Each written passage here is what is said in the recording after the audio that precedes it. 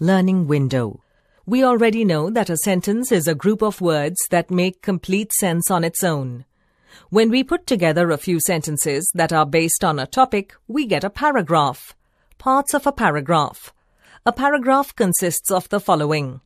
Topic sentence reveals what the paragraph is about. Body sentence sustains and develops the idea given in the topic sentence. Two or more sentences can be given in this part of the paragraph. They add some information or give examples. Concluding sentence completes the idea and closes the paragraph by taking it to its logical conclusion.